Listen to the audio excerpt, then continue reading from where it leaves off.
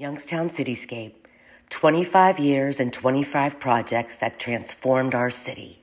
Streetscape 25, the Silver Edition. You know, it wasn't that long ago when the main street of our downtown looked like this. Do you remember walking on Federal Street and this is what you saw? Stark landscape and boarded up buildings. We hope you are enjoying Federal Street now. Do you recall what it looked like across the street from Eastern Gateway Community College?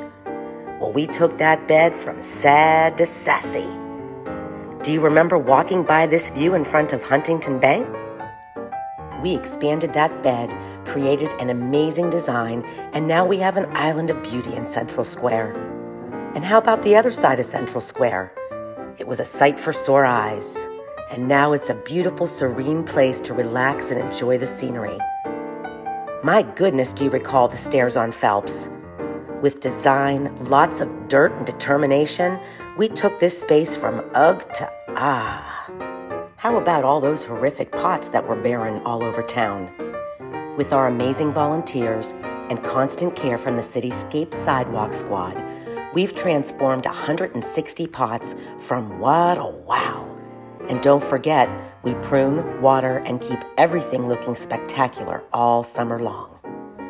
We started with flowers oh, we are so much more.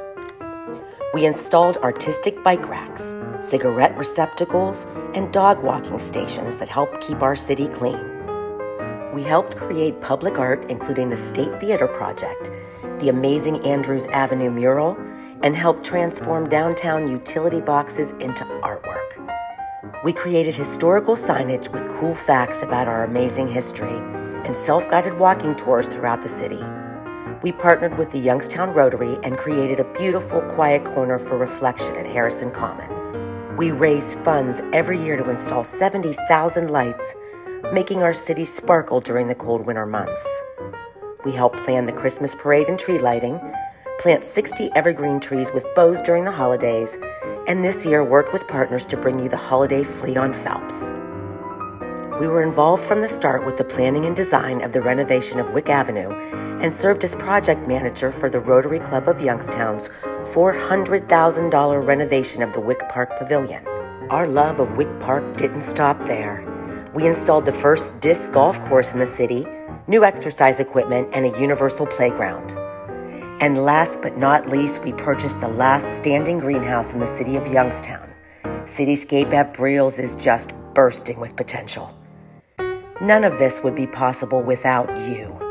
From the $20 donations to our major funders, foundations, banks, the City of Youngstown, Youngstown State University, a multitude of community partners, local businesses, our board of directors, the Streetscape Planning Committee, and most importantly, the volunteers.